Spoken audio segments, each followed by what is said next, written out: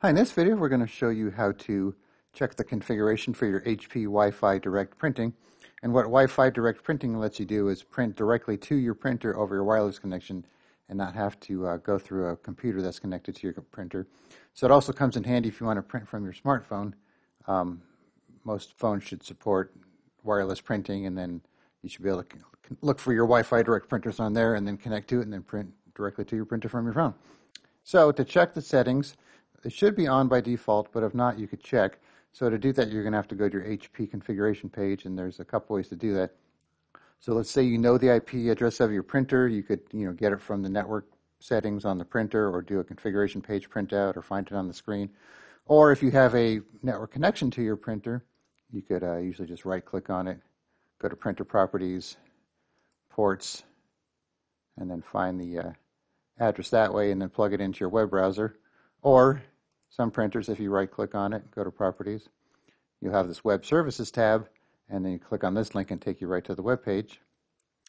So I have this uh, page open right here already. I just used typed in the IP address of my printer, and it brought me here. So normally you'll start on the home page here. And then what you want to do is go to the networking tab, and then you want to find Wi-Fi Direct Setup, and it should be on by default. If not, you can turn it on here and then the connection method is usually automatically usually fine. You could do manual and advanced if you want to do some custom settings for it. And then you'll have the Wi-Fi direct name, so this is the name you'll use to connect to your printer when you're searching for it. You could type in something if you different if you want. And then if anyone needs a password, the default is 1234567 If you want something more complex, you could click on generate. Because keep in mind, so if you have like neighbors and they could see your printer, they could connect to it. And if they know this generic default password they could print to your printer, and you don't want that happening, obviously. And when you're done, just click on Apply. And then one way to tell that it's uh, working is if you go to your wireless uh, icon down by your system tray here by the clock, you should see your printer showing up there as a wireless connection. And now to connect to that, let's say you're on a different computer and you want to use Wi-Fi direct printing, you go to your Windows settings and then you want to go to your printers and scanners.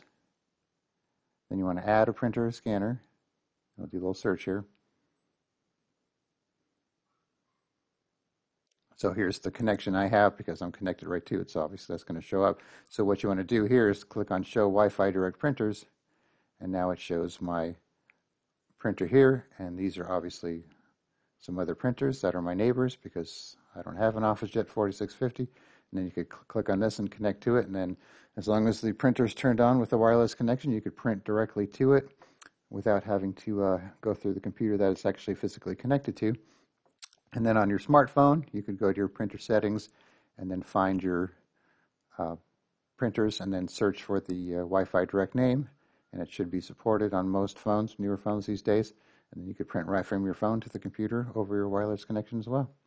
So once again, just go find your web page here for your HP LaserJet or OfficeJet, whatever it is. Uh, networking, Wi-Fi direct setup, make sure it's on. Make a note of the name and password in case it asks for you, and you should be good to go.